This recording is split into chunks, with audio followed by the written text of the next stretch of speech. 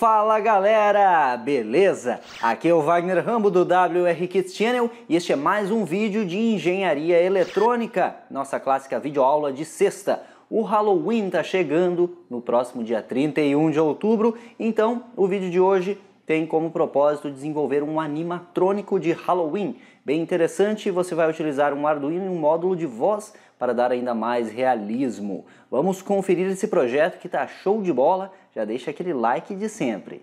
E esse vídeo é um oferecimento da Toroid do Brasil. Acesse toroid.com.br e confira todos os produtos, transformadores, toroidais, indutores e muito mais. Confira, faça sua cotação para transformadores toroidais, que valem muito mais a pena do que os convencionais. Link aqui na descrição, toroid.com.br.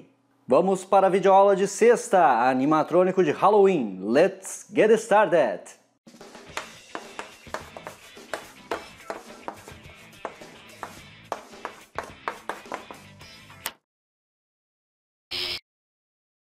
Quem acompanha o canal há mais tempo deve lembrar do Papai Noel animatrônico que fizemos para o último Natal. Eu vou utilizar a mesma estrutura mecânica, portanto, se você quer aprender a construir detalhadamente a mecânica do animatrônico, clique aqui e confira o vídeo, ou então clique aqui no card e confira o vídeo do Papai Noel animatrônico. Hoje vamos utilizar então uma máscara para um monstro de Halloween, vamos modificar o hardware de eletrônica dele, colocando um Arduino Pro Mini para ter menos espaço e adicionando o módulo de voz ESD 1820, que é mais acessível para todo mundo. No último utilizamos o ISD 1932 e agora você consegue facilmente o ISD 1820, que também já demonstrei como utilizar detalhadamente neste vídeo aqui. Vamos ver o diagrama esquemático, o software, que vai estar tudo para download, e depois vamos conferir funcionando na bancada como sempre. Direto aqui com o hardware do nosso animatrônico de Halloween. Eu vou utilizar o Arduino Pro Mini para diminuir o espaço utilizado no animatrônico, mas você pode utilizar o Arduino Nano, o Arduino Uno, do Emilanove, Leonardo, Arduino Mega, o que você tiver à disposição. E aqui está a representação.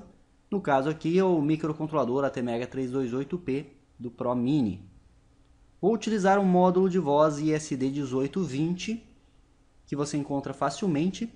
Você tem como gravar a mensagem on-board. No caso, eu gravei uma mensagem de Halloween e deixei salva no módulo, de forma que quando enviamos um pulso em nível alto no PE do módulo, ele toca a mensagem e vamos ouvir no alto-falante, que é um alto-falante pequeno de 8 ohms. O módulo é alimentado em 5 volts. Então, no digital 3, eu controlo a reprodução da mensagem que vai ser a fala do nosso animatrônico. Teremos um sensor de ultrassom HCSR04 que você vai conectar no digital 9 e digital 8, que são o trigger e o eco respectivamente. Temos um servo para controle dos olhos, para movimentação dos olhos do animatrônico que vai no digital 5 e temos um servo para movimentação da boca do animatrônico que vai no digital 4. Ambos mini servos de 9 gramas, também barbadinho de encontrar e bem barato. Temos também aqui dois LEDs que vão iluminar os olhos. Na prática você vai ver mais detalhadamente. Os LEDs são vermelhos, difusos, 5 milímetros e tem resistores limitadores de corrente de 220 ohms. O LED esquerdo está ligado no digital 7 e o direito está ligado no digital 6. Então, quando passar alguém na frente do animatrônico, o sensor de ultrassom encontra-se no nariz do animatrônico, vai detectar a presença e vamos acionar os atuadores. Vamos movimentar os olhos, vamos acender os olhos, vamos movimentar a boca e vamos reproduzir a mensagem com o módulo de voz. Bem simples o funcionamento e bem interessante o resultado final que veremos daqui a pouquinho. O software está aqui também para download, todo comentado como sempre, biblioteca dos servos, o mapeamento de hardware que eu acabei de mostrar para você, funções para medir a distância, para o pulso do ultrassom, para a chamada da mensagem e para o controle dos atuadores. Configurações iniciais que todo mundo já conhece, iniciamos centralizando os servos e aguardamos 0,7 segundos e vamos no loop infinito ler a distância. Essa função measure distance, que eu já utilizei em outras videoaulas e eu criei, baseando-se na pulse in do Arduino, retorna para o loop infinito aqui e armazena a distância em centímetros nessa variável e vamos testar ela. Quando for menor que 20 centímetros, eu chamo a função de Halloween e aguardamos 65 milissegundos a cada leitura do sensor. Essa não precisa explicar, pois já expliquei em outras videoaulas. Basicamente, pegamos, geramos o trigger para o sensor de ultrassom, ele pega o pulso de eco e armazena nesta variável, faz o cálculo, que está todo comentado aqui, e retorna o pulso sobre 58.82 que o fabricante do sensor nos sugere para o cálculo da distância em centímetros. E este pulso aqui é a largura do pulso na saída de eco em microsegundos. O pulso de trigger deve ter uma duração de 10 microsegundos. Aqui está a função e a função Halloween. Na Halloween, geramos um pulso que eu chamei de mensagem 1, que é a PE do módulo de voz. Aguardamos 50 milissegundos e colocamos em low de novo. Então ele gera esse pulso de 50 milissegundos para acionar a mensagem. Nesse instante, o módulo vai reproduzir a mensagem que foi gravada previamente. Passamos aqui um laço for, chamando cinco vezes, pois estamos testando até o limite 5, a função actuators, a função dos atuadores. Qual a função dos atuadores? Movimentar o servo da boca, acender os LEDs, movimentar o servo dos olhos e apagar os LEDs. 200 milissegundos, mais 200, mais 200, mais 200, mais 200. Some tudo isso e você tem o tempo de um segundo. Como eu repito cinco vezes esse processo aqui, com esse laço for, esse laço for vai levar cerca de 5 segundos para ser executado. Esse tempo foi calculado baseando-se no tempo que a minha mensagem previamente gravada levou, que foi de 5 segundos para sincronizarmos a fala com a boca e com os olhos. Certo? E o módulo pode permite a gravação de uma mensagem até 10 segundos, de até 10 segundos de duração. Acredito que de teoria isso, bem simples, você que já acompanha o canal, compreendeu tudo bem facilmente. Vamos testar isso na prática e ver funcionando. Será que vai assustar alguém? Venha comigo!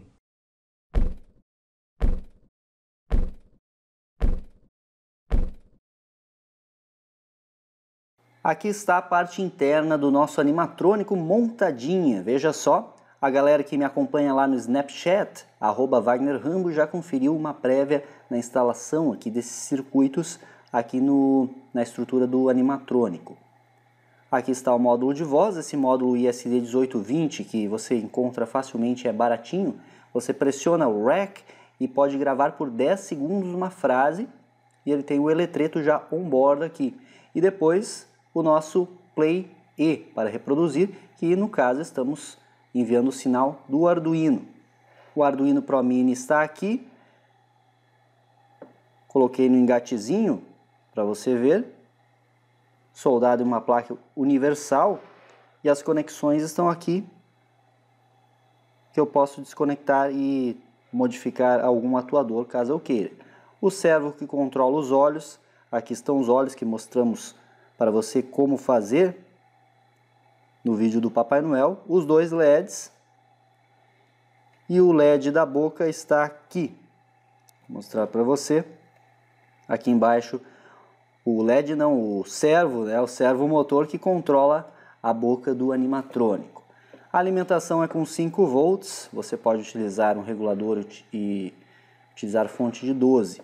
E o alto-falante está aqui neste cilindro para fazer as vezes da caixinha de som, o alto-falante, um pequeno alto-falante de 8 ohms que vai conectado aqui no nosso módulo de voz. E o sensor de ultrassom aqui na frente. Vamos fechar aqui e ver a face do nosso animatrônico de Halloween. Essas máscaras que você encontra facilmente em bazares aí, a preços bem baratos. Comprei uma delas e aí está.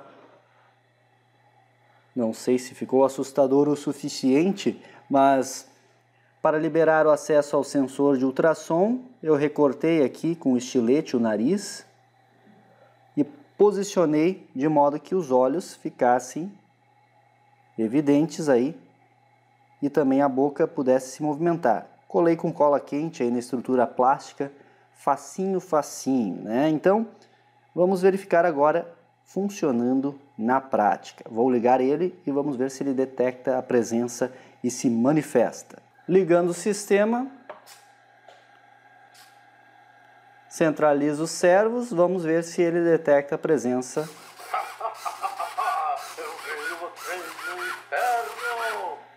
Tá aí, está funcionando como você pode ver. Gravei uma frasezinha e você pode gravar diversas frases, uma única frase na realidade, mas pode regravar, pois o SD 1820 tem a facilidade dos botões ali on board. Quando o camarada passa na frente do animatrônico, ele detecta e se manifesta. Movimenta aqui a boca, movimenta os olhos e acende ali os LEDs. Você pode implementar das mais diversas formas esse cara aí, acredito que tenha ficado bem interessante aí para o Halloween. Então faça essa montagem que vai ser show de bola e você vai dar alguns sustos de repente. Bacana, mais um projeto na sua aula de engenharia eletrônica de sexta, unindo conhecimentos do canal e montando às vezes um dispositivo um pouco diferente do que estamos acostumados.